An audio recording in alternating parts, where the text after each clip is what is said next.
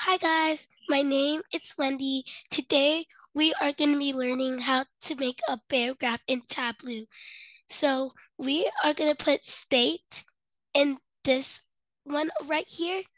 And then in this cells, we are going to put it down low.